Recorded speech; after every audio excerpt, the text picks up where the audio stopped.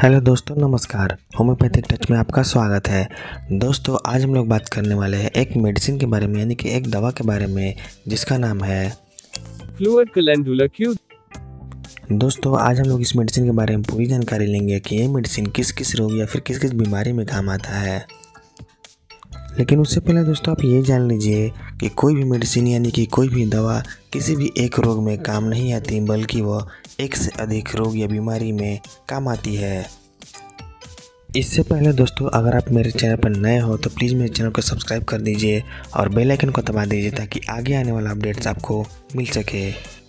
तो दोस्तों, आप इस वीडियो को लास्ट तक देखते रहिए, आपको धीरे धीरे सब कुछ मालूम हो जाएगा।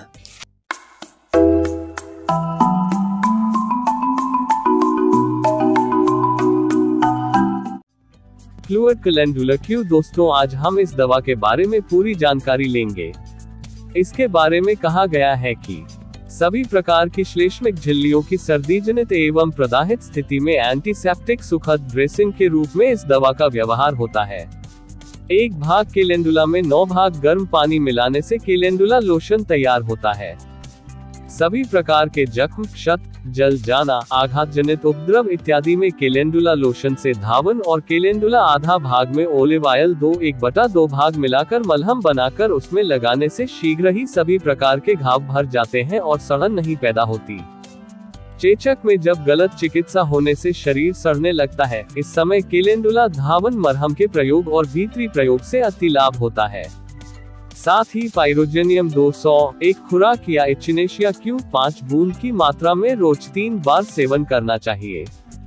मोटापन दूर करने के लिए उपरोक्त रीति से इस दवा का प्रयोग और फाइटोलिन क्यू पाँच बूंद की मात्रा में रोज दो खुराक व्यवहार करने से मोटापन दूर हो जाता है। रोगी भी निरापद रहता है। उम्मीद करता हूँ दोस्तों आप ये वीडियो अच्छे से और ध्यान से देखे होंगे। यानी कि आपको इस मेडिसिन यानी कि इस दवा के बारे में पूरी जानकारी मिल गई होगी कि ये मेडिसिन किस किस रोग या फिर किस किस बीमारी में काम आता है। दोस्तों, अगर आपको इस मेडिसिन को लेनी हो, यानी कि ख़रीदनी हो तो आप इसे ऑनलाइन में ले सकते हैं। मैंने उसका लिंक डिस्क्रिप्शन में दे दिया है। और रही बात इस मेडिसिन को कैसे खाया जाए तो वो भी आपको डिस्क्रिप्शन में मिल जाएगा।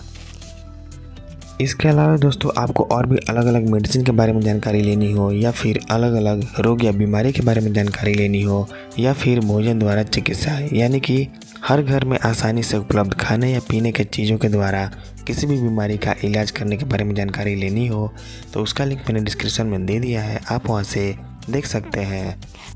दोस्तों, अगर आपको मेरा वीडियो अच्छा लगा होगा तो प्लीज़ मेरे वीडियो को लाइक ज़रूर कीजिएगा और इस वीडियो को शेयर करना ना भूलें, ताकि आपके साथ साथ औरों को भी इस मेडिसिन के बारे में जानकारी मिल सके। तो दोस्तों, आज के लिए बस इतना ही। अगली बार फिर आऊँगा एक नया वीडियो लेके। तब तक के लिए बाय।